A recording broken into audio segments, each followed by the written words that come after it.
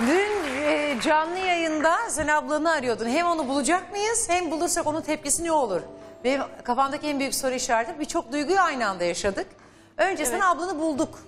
Müjdesini verdik ama o kendiyle ilgili gerçeği bilmiyormuş. Fadime Hanım'ın annesinin iddiası bu yöndeydi. Ama bir arkadaşı içimizi rahatlattı. Çok şükür. Şimdi o yüzden sen bugün ilk defa kız kardeşini göreceksin.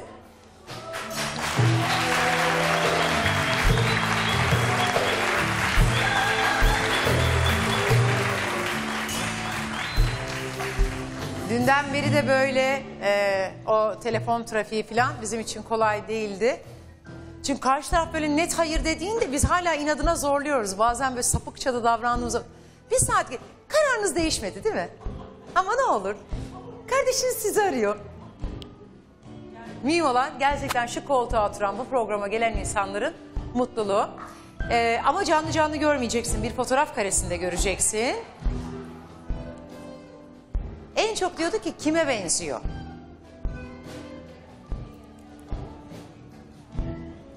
Kız konuşsana. Ya e, amcamın bir kızı var. Evet. Ona benziyormuş. Halamlar öyle diyor yani. Bilmiyorum. Çok heyecanlıyım. Ama fotoğrafını gönderiyor olması aslında bir zeytin dalı uzatıyor anlamında taşıyor. Evet. Evet, güzel de bir adım atıyor. Önce Seher'in kız kardeşinin fotoğrafını ilk defa göreceksin. Seher şu anda sanırım 24-25 yaşlarında.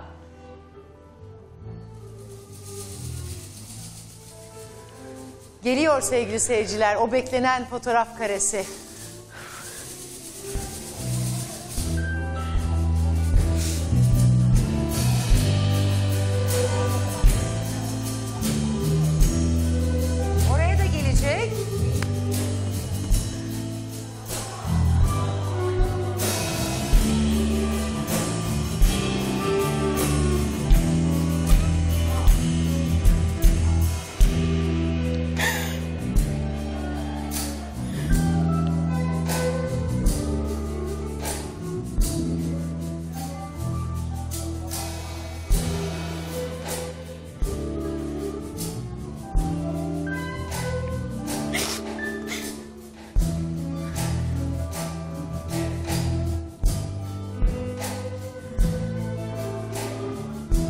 Benziyor muymuş o amca kızına birine? Bana benziyor. Efendim? Bana benziyor. Aynı sana mı benziyor? Evet. Kendine benzettin. Özgür teyze, eee, yani Mustafa Bey'in bu Fadime Hanım'dan çocuğu dünyaya geldikten sonra bir gün arayıp rica etmiştin. Ne olur bir fotoğrafını gönder. Evet. Mustafa'nın içi soğusun, kızını bir kere görsün diye. 24 yıl gecikmeli geldi o fotoğraf Olsun. eline. Mustafa abi de telefona bağlarsanız o da ilk defa e, kızının şu anda ekranda gördü. Babanın burada olmama sebebi sevgili seyirciler kalp rahatsızlığı olduğu için dayanamam dedi. Bir de bir Tuğçe alo de bakayım. Alo. Alo. Alo. Alo. Ablam de. Abla.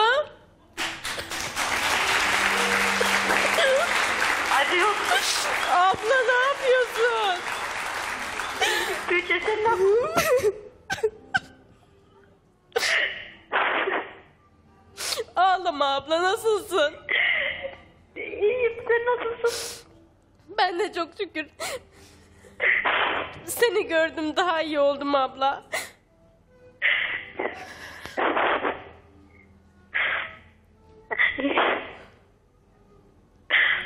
Geleceğim yarın inşallah oradayım. Yarın İnşallah abla geliyor. inşallah. İnşallah. Özge teyze. Abla bekliyorum seni. İyi. İnşallah, inşallah geleceğim. İnşallah. Alo. Alo. Seher kızım nasılsın? İyiyim şükür. Siz nasılsınız? Allah razı olsun senin sesini duydum ya dünyalar benim oldu. Allah razı olsun. Ben çok aradım, çok şey yaptım, çabaladım ama bir elimde tutan olmadığı için bulamadım. Olsun kızım biz biz aradık bulduk çıktık ya buraya.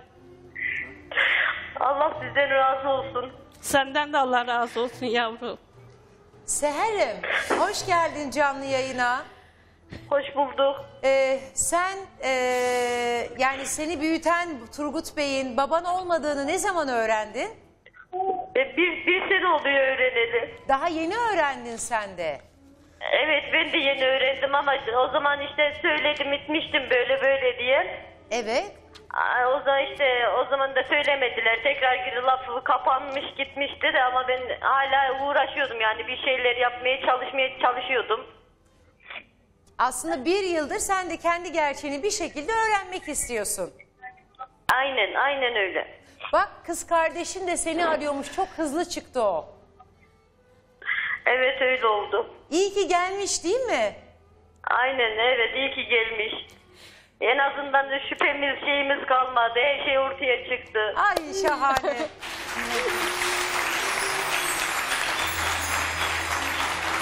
Seni çok seven bir kız kardeşin var ama Türkiye Cumhuriyeti'ne örnek olacak da güzel bir babanın eşi var. Herkes Evet. bu medeni cesareti gösteremez. Ben seni ayakta teşekkür alkışlıyorum. ederim, Allah razı Kendi olsun. kızını arayıp getirdiğin için.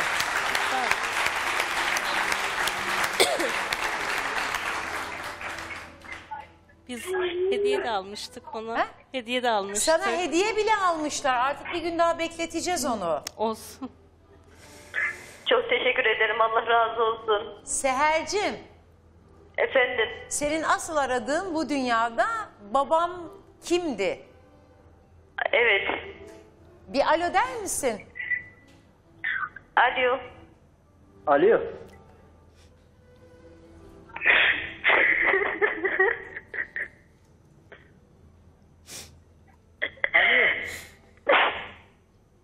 Mustafa amca Efendim. sen kızım Seher'im demek için çok uzun yıllardır bekliyorsun. Yaklaşık 24 yıldır. Şimdi bunu söylemenin sanırım vakti geldi.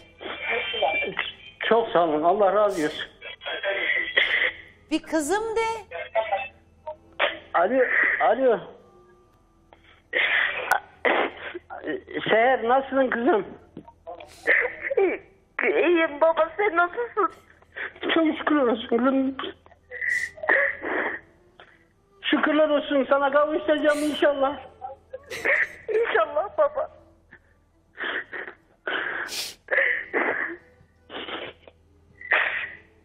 Allah bundan sonra hiç ayırmasın sizi. Mustafa amcacığım siz de geliyor musunuz yarın? Abla gelemem. Çok isterim gelmeye de dayanamam. Tamam dur onu da organize ederiz. Seher Efendim. yarın bekliyoruz seni. İnşallah yarın oradayım. İnşallah. Tuğçe uyuyacak mı bu gece? Uyuyamam. Ha? Uyuyamam. Uyuyamazsın. Asla. Peki annen dün gece sana söyledi mi? hani baban seni arıyormuş, kardeşlerin seni arıyormuş diye. Evet söylediler. Söylediler. Sen bunu duyduğunda bize gizlediğini söylemişti anne. Evet. Babanı aramak istediğinde annen sana karşı çıktı mı? Ee, Ya işte hiçbir şey demediler. Sadece boşa şey yapma, uğraşma senin baban Turgut dediler.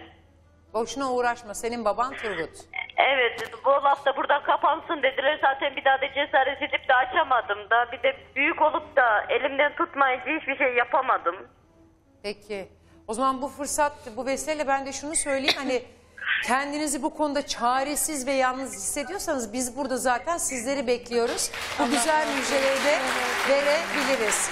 Yarın abla kardeş birbirlerine kavuşacaklar. Aslında bir tarafta baba da kızıyla kavuşacak. Geçen yıl öğreniyor babasının Mustafa Çatı olduğunu. Tam bir yıl sonra o kucaklaşma gerçekleşecek. Hadi sizi şimdilik uğurluyorum. Allah razı olsun. Hediyeyi de al. Sağ ol. Her şey için teşekkür Ben teşekkür ederim. Hadi görüşürüz. ederim.